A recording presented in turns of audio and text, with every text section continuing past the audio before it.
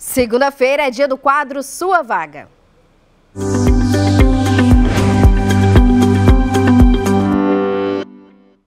E a primeira oportunidade diz respeito à Prefeitura de Teresina, que abriu vagas para os cargos de pedagogo e psicopedagogo.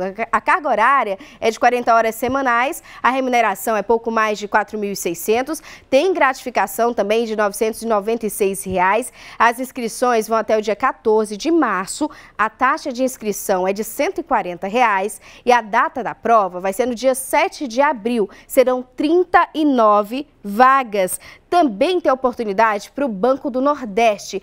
Cargos analista bancário 1, a carga horária 30 horas semanais, a remuneração é maior do que 3.700. As inscrições vão até o dia 11 de março. A taxa de inscrição de, deste concurso é de 65 reais. A data da prova, dia 28 de abril, serão 410 vagas. Também tem oportunidade para o Conselho Regional de Nutricionistas da 11ª região, que abarca Ceará, Maranhão e Piauí. O cargo é para nutricionista fiscal, carga horária também de 30 horas semanais. A remuneração é, um pouco mais de R$ 3.900, mais R$ 877 de vale alimentação. As inscrições vão até o dia 11 de março. A taxa para participar é 120 reais. Serão sete vagas e a data da prova no dia 2 de junho de 2024. Tem também Prefeitura de Brasileira. Vai ter um processo seletivo lá.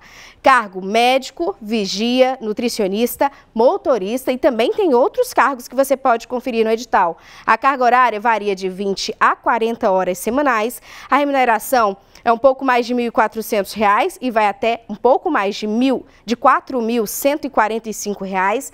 A taxa de inscrição vai de R$ 65 a 96 reais, dependendo do cargo, tem essa variação. Você pode se inscrever até o dia 6 de março, serão 47 vagas e a prova vai acontecer no dia 12 do 5 de maio, ou seja, de 2024. A gente encerra por aqui o quadro Sua Vaga de hoje.